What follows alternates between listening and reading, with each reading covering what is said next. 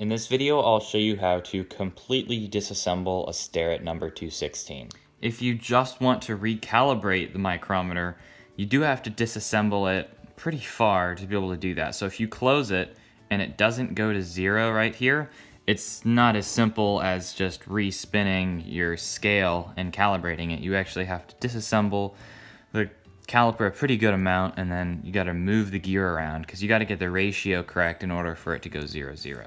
On the back thimble here, you gotta take out that little black screw, and I just took this screwdriver and ground it down so it's a little thinner and it fits in there.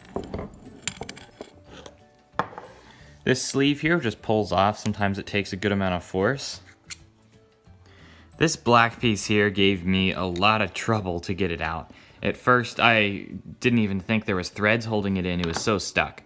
What I actually ended up having to do was take a pipe wrench and twist this out. So this black piece right here is threaded into the frame of the micrometer. So once I unscrew this,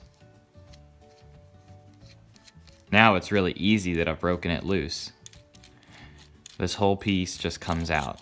So I did have to use the pipe wrench, it gouged it up a little bit, but that's not really a problem. I just cleaned all the burrs off with a file and this still slides on just fine.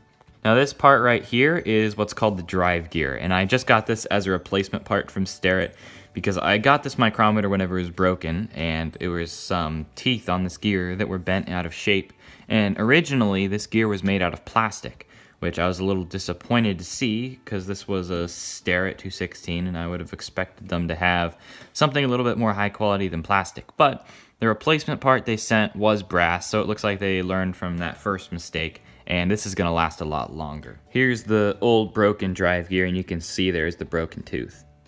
Just slide out the whole spindle.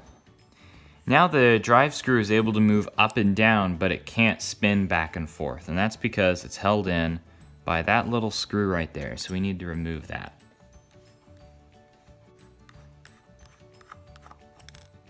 Just slides right off. The counter here is just held in by two screws on each side.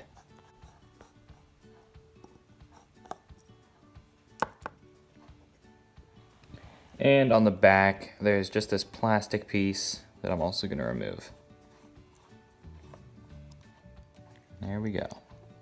And that's how you completely disassemble a Starrett number 216. Once you know how everything comes apart, it really doesn't seem that complicated.